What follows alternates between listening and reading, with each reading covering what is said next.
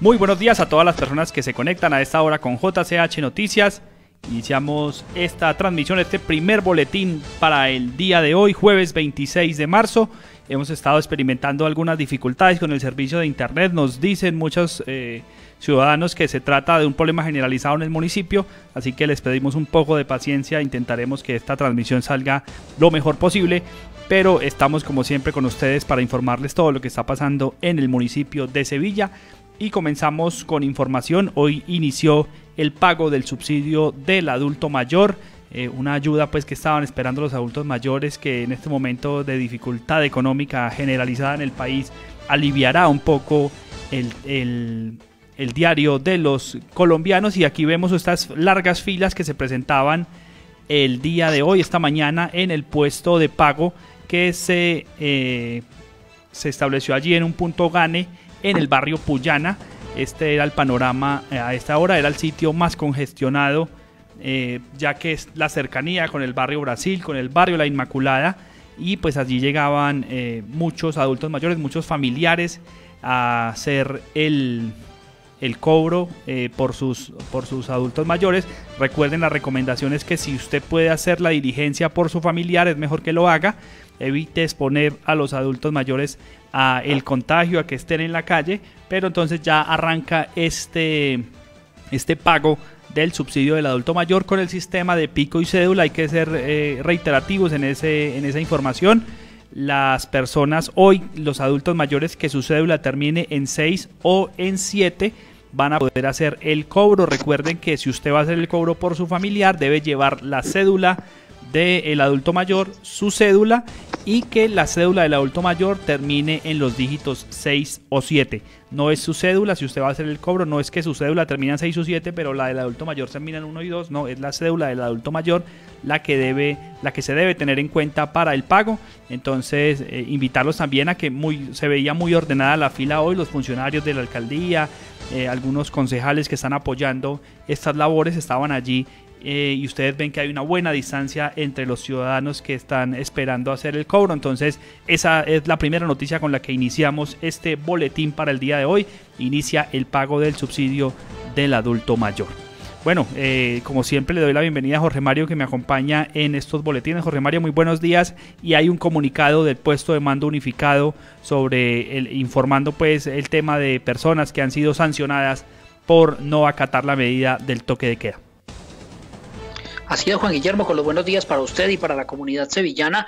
Este comunicado tiene fecha del 24 de marzo. Estaba pendiente que nosotros le hiciéramos la difusión respectiva para que los ciudadanos tuvieran en cuenta lo que está ocurriendo y que sanciones efectivamente sí se están imponiendo. Es muy común que en las redes sociales la gente escriba recurrentemente que ve gente en la calle y que no ve que le pase nada entonces, este puesto de mando unificado, que es precedido por el alcalde municipal, expide ese comunicado en el que dice que los, el en escenarios de riesgo, aforo de personas de centros de abastecimiento alimenticio para la población, hablo de los supermercados del centro, de Uno, Olímpica, Ara, Placita Campesina, alrededores, Cafetero Carrera 51 entre calles 48 y 49 y Gran Día, además de supermercados de la zona de la Galería y calle Miranda, la Campiña, Bananas, El Chispazo, Graneros, Fruber, Galería, establecimientos de calle Miranda, Mercacentro, Galería. En estos puntos, que son los puntos críticos de aforo de personas, entonces dice el comunicado que eh, a la expedición del presente boletín se presentaron algunas novedades, reporte de aforo de personas en la sede del centro administrativo municipal. Esto fue el día, recuerde usted Juan Guillermo, el día en que la gente un poco se desordenó en el municipio, salió a la calle y tuvieron las autoridades que tomar algunas medidas. El alcalde y el equipo del puesto de mando unificado le dieron respuesta, habilitaron los canales para el efecto, controlando la situación, aclarándole a toda la ciudadanía que estaba haciendo algunos reclamos allí en el centro administrativo municipal. Además, dice el comunicado, confluencia de personas en la zona céntrica, calle Miranda y calle Real. Ante ello proceden las autoridades de policía, tránsito y secretaría de gobierno a disuadir y aplicar las medidas correctivas pertinentes presentando las siguientes novedades. Primero, traslado por protección ante el incumplimiento del toque de queda. Se impusieron ocho comparendos entre sábado 21 y domingo 22 y se impusieron en total 13 eh, más otros 13 comparendos, en total 21 hasta la fecha. El numeral segundo dice procedimiento de policía acompañando el, eh, acompañado del Ministerio Público por parte del comando de estación realizando por protección e imposición de comparendos por incumplimiento al toque de queda y numeral tercero, seis inmovilizaciones y 20 comparendos en materia de tránsito por incumplimiento a la restricción de movilidad. Las novedades relacionadas fueron atendidas oportunamente por las autoridades competentes, dice este comunicado, y por último recalca la alcaldía y también el puesto de mando unificado informar que la alcaldía municipal no está entregando mercados, ante lo cual invitamos a la comunidad a que hagan caso, que no hagan caso a cadenas de información falsa. Se despiden entonces los integrantes de este eh, puesto de mando unificado, el alcalde, el secretario de gobierno, un asesor del despacho del alcalde, la secretaria de salud y el eh, funcionario de control del riesgo. Ahí le leo, Juan Guillermo, pues el comunicado que estaba pendiente porque nosotros se lo hiciéramos saber a la ciudadanía. Sí, señor, y continuamos con información importante para los ciudadanos. Ya se anuncia el pago del subsidio de familias en acción. También está siendo muy esperado por muchas familias sevillanas que en este momento no pueden trabajar y la alcaldía municipal eh, informó que a partir del 27 de marzo, quiere decir a partir de mañana, se va a realizar el pago de este subsidio que es eh, tan esperado pues por muchas familias que de verdad necesitan y tener este recurso para poder hacer sus compras. Entonces informan que va a ser a partir del 27 de marzo, igualmente con el sistema de pico y cédula. Eh, lo van a poder cobrar este viernes las cédulas terminadas en 8 y 9 y el sábado los campesinos, la gente de la zona rural va a poder hacer el, cobro de este eh, subsidio de familias en acción. Entonces ahí está la noticia. Se va a hacer en el Banco Agrario. Este pago han, habilitado tres cajas en el Banco Agrario para el pago del subsidio de familias en acción. Entonces eh, la invitación a la gente es como siempre al orden en las filas. Vemos el ejemplo que nos daban los adultos mayores hoy con unas filas bien hechas, conservando la distancia. Y pues aquí se va a hacer este pago el, eh, a partir de mañana cédulas 8 y 9 en el Banco Agrario. Entonces muy atentas eh, las familias beneficiarias de Familias en Acción, que es a partir de mañana 27 de marzo que inicia el pago de este subsidio. Por aquí también hacen una recomendación y es el uso de tapabocas y guantes para que las personas lleguen a la fila y tengan estos elementos de bioseguridad de protección y así eh, pues también ayuden a conservar su salud. Solo una persona por familia, evitar que se vayan dos o tres personas. Generalmente cuando las filas son muy largas las personas acostumbran a llevar varias personas para que lo reemplacen en la fila. El pedido que se le hace a la gente es solo uno por familia. Igual va a ser un sistema pico y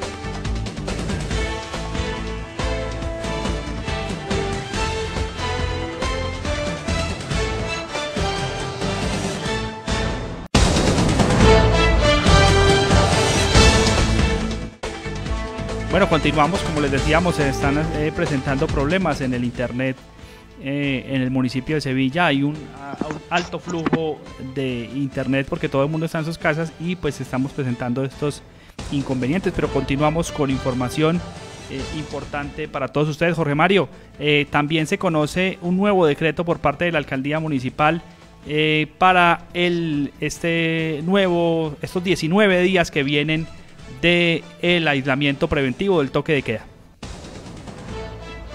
Así es, Juan Guillermo, la alcaldía de Sevilla eh, reglamentando, digamos un poco regulando el decreto 457 que expidió el presidente de la República, ha expedido este decreto en el que dice cuáles van a ser las excepciones al toque de queda, mejor al confinamiento obligatorio, que es lo que se ha decretado por parte de la Presidencia de la República. Esas excepciones son eh, personal perteneciente a la fuerza pública, organismos de seguridad del Estado, policía judicial, autoridades de tránsito y transporte, organismos de emergencia, socorro, prevención y salud, personas de las empresas de seguridad privada en el ejercicio de sus labores, quienes deberán portar las correspondientes identificaciones como carnet, uniformes y demás, funcionarios y servidores públicos en razón de sus funciones, los trabajadores y operarios que presten turnos en farmacias, laboratorios, empresas nocturnas, hospitales, servicios funerarios y demás personal que en relación de sus trabajos ameriten prestar un servicio en horas de la noche debidamente acreditados con documentos representativos de la empresa como carnet, uniformes y demás. Empresas transportadoras y de expendio de alimentos, víveres, bebidas no alcohólicas, productos de aseos y de aseo y suministros médicos, productos del campo siempre y cuando haya una razón a su necesidad de circular en las noches en las horas restringidas ambulancias, vehículos de atención prehospitalaria y aquellos destinados a la atención domiciliaria de pacientes. Hay que aclarar, Juan Guillermo, que el resto de personas, digamos una especie de excepción regulatoria, es la tabla que ya nos ha socializado la alcaldía, que hemos, de la que hemos hablado varias veces aquí en JCH Canal Digital, y es que nosotros tenemos que contarle a la comunidad que esta, fórmula ha funcionado es una forma ordenada de que las personas salgan a la calle y les recordamos que a partir de hoy es eh, completamente diferente la tabla a la que venía operando. Yo voy a leerles lo que dice el decreto respecto a esa tabla, van a estarla también viendo en pantalla. Los lunes entre las 8 de la mañana y las 4 de la tarde van a poder circular las personas cuyo último dígito de la cédula sea 0 y 1. El martes entre las 8 de la mañana y las 4 de la tarde los dígitos 2 y 3 el miércoles entre las 8 de la mañana y las 4 de la tarde en los dígitos 4 y 5, los jueves entre las 8 de la mañana y las 4 de la tarde los dígitos 6 y 7, viernes desde las 8 a las 4, 8 y 9, los sábados únicamente para las personas de la zona rural en un horario de 7 de la mañana a 3 de la tarde y el domingo habrá restricción para toda la población con excepción de los relacionados en el parágrafo primero del presente decreto, o sea, del decreto que les acabo de leer, esas personas también se exceptúan el domingo. Esto es lo que dice ese decreto, Juan Guillermo, eh, socializando como siempre para que la ciudadanía tenga muy claro qué puede y qué no puede hacer en esta cuarentena. Sí, es un sistema que de verdad ha funcionado, se ha visto orden en, en las calles, se ha visto muy poquitas personas. Hoy en el informativo del mediodía, después de la una de la tarde, vamos a, ayer hicimos un recorrido por las calles en horas de la noche, muy poca gente en la calle, la gente obedeciendo el decreto. Nos han pedido mucho que, que hagamos recorridos por los barrios, no solo en el centro, eso hicimos anoche.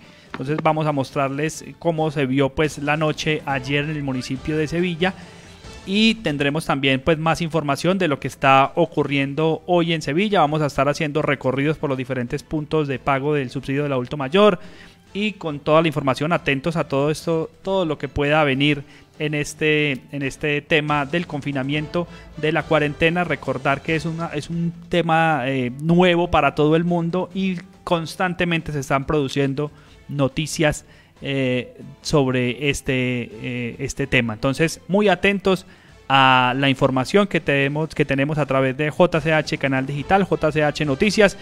Y esperamos eh, a la una, después de la una de la tarde, estar conectados nuevamente con ustedes para tenerles mayor información de todo lo que está pasando en Sevilla y también los boletines que emite el Ministerio de Salud sobre nuevos casos de contagio que siguen en aumento en el país. Ayer hubo un aumento eh, alarmante de 90 casos en un solo día. Y pues esto prende las alarmas y nos da un mensaje al cuidado, al autocuidado, a protegernos y como siempre les decimos, a quedarnos en casa. Por mis padres, por mis hijos, por mi familia, contra el coronavirus, en Sevilla, nos quedamos en casa.